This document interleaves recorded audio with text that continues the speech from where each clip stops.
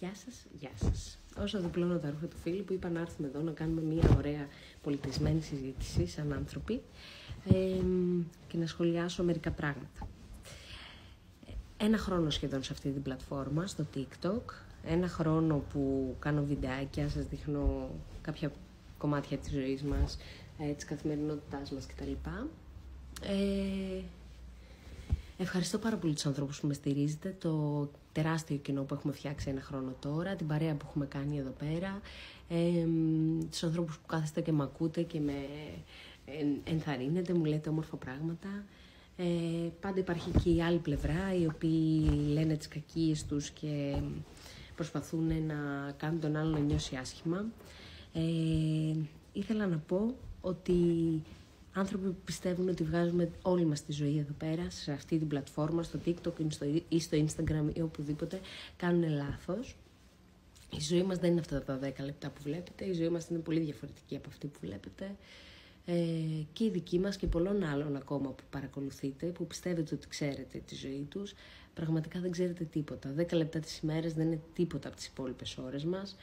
Ε, δεν μπορείτε να ξέρετε αν πραγματικά είμαστε αυτό που βλέπετε ή όχι.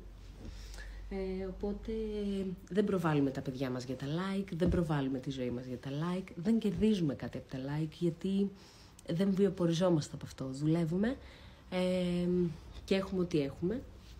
Βιοποριζόμαστε από τη δουλειά μας και όχι από το TikTok. Το TikTok είναι ένα χόμπι, μία σχολεία. Ε,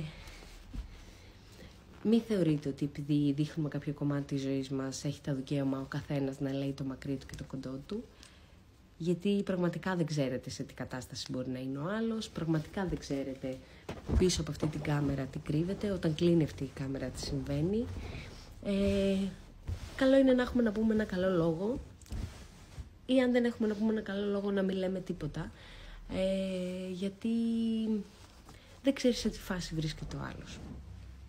Θέλω να ευχαριστήσω πραγματικά πολύ τους ανθρώπους που μας ακολουθούν και έχουν γίνει παρέα μας να πω ότι έχω γνωρίσει ανθρώπους μέσα από το TikTok και έχουμε γίνει φίλοι ε, και είμαι πολύ ευτυχισμένη γι' αυτό ε, που πήρα αυτή την, που μέσα από αυτή την πλατφόρμα κέρδισα φίλους, πραγματικούς φίλους, τους έχω στη ζωή μου και είμαι πολύ χαρούμενη γι' αυτό. Όσο για όλους τους υπόλοιπους πραγματικά δεν με ενδιαφέρει.